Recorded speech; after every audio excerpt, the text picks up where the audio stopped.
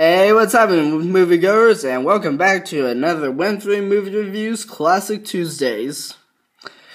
We had a bit of a schedule mishap last week, so we weren't able to do any reviews last week, but we're back, and that's all that matters.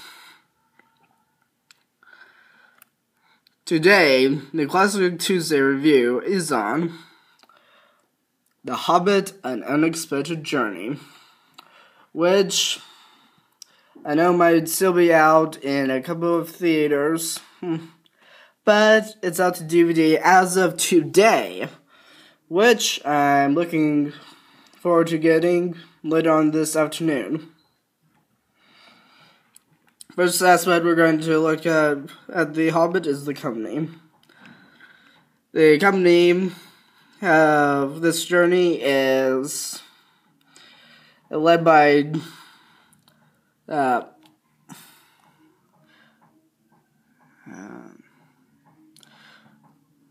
Thor- Thorin.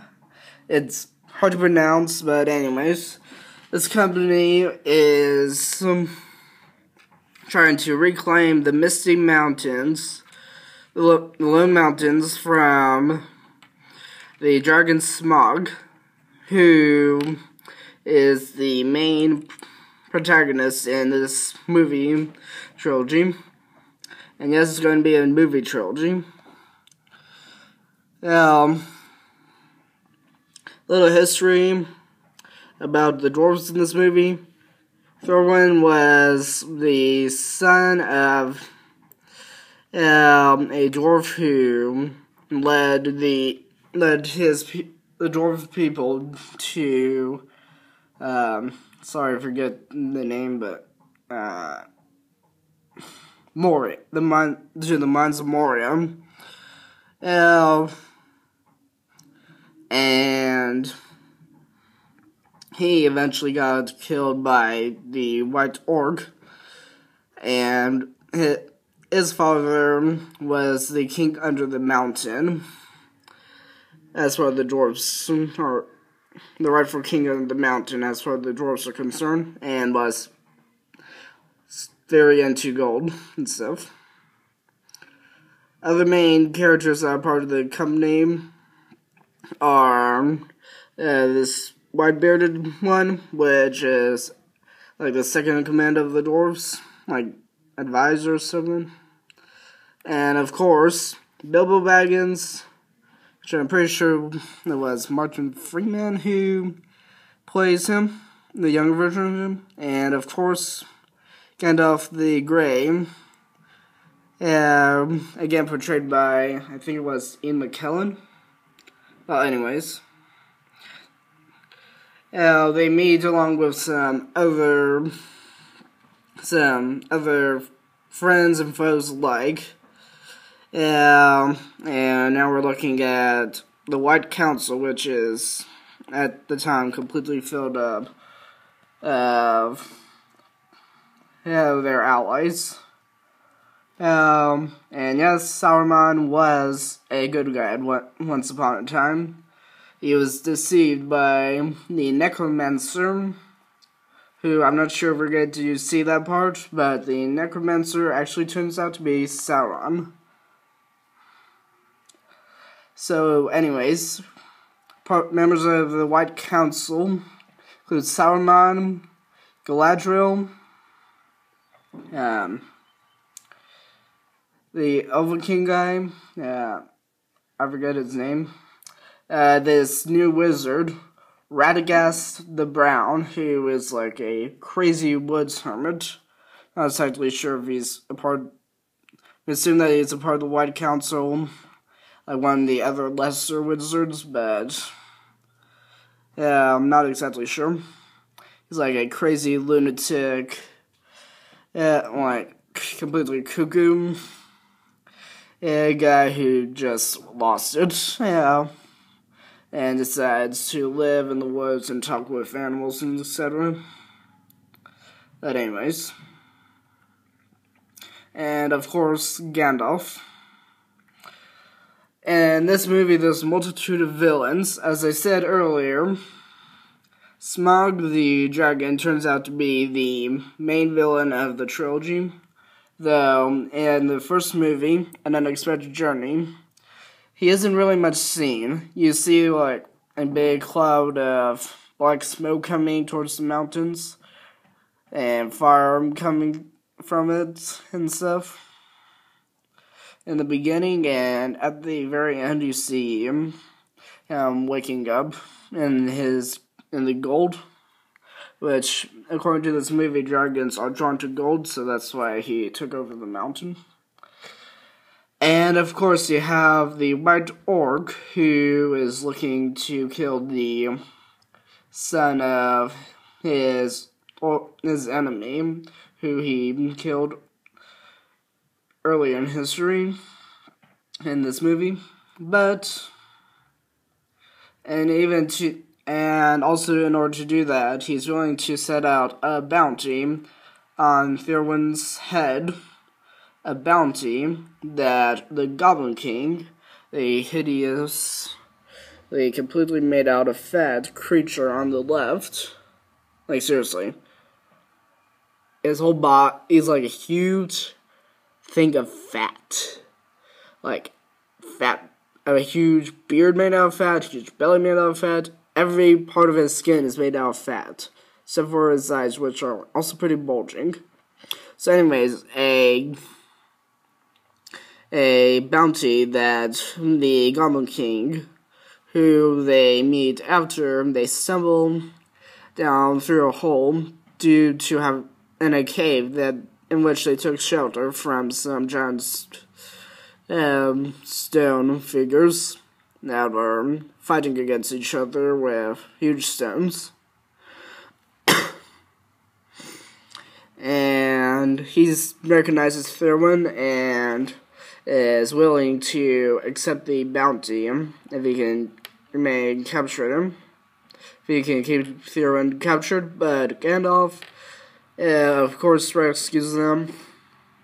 And meanwhile, um, oddly enough, this is also the part where we um, see Smeagol's origins. Uh, from before the adventures of the Lord of the Rings, during which he meets Bilbo in a cave, which happens to be yet another fall down through some sort of chasm in the Goblin King's lair. So you have goblins and Gollum alike. And of course, you have Gollum being pretty quite hilarious as well. Talking to himself, answering himself in quite funny ways. But also, it adds on a creepy thing because he is part of the bargain.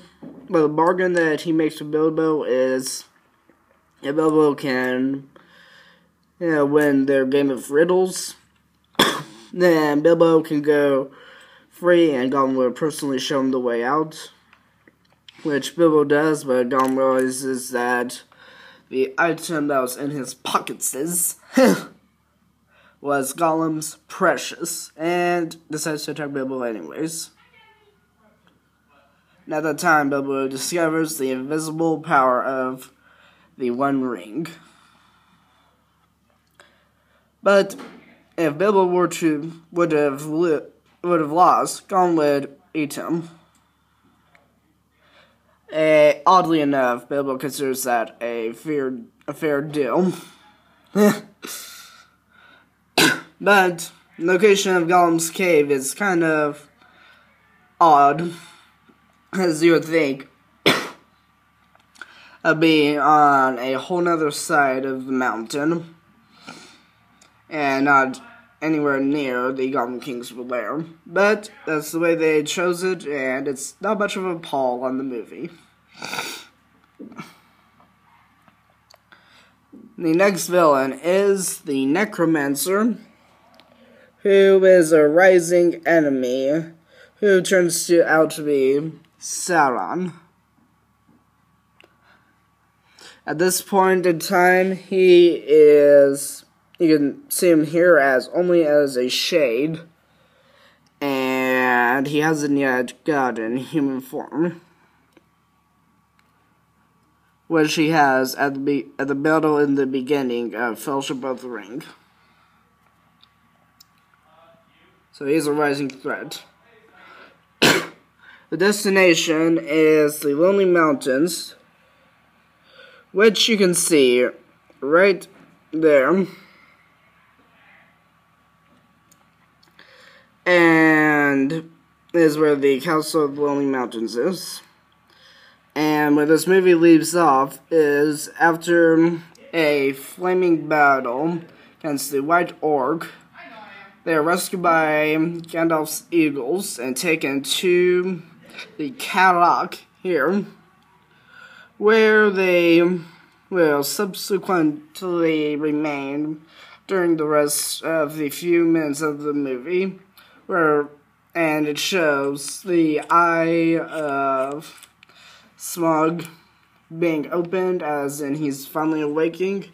And the next movie, The Desolation of Smaug, which will be coming out December 13th, I believe,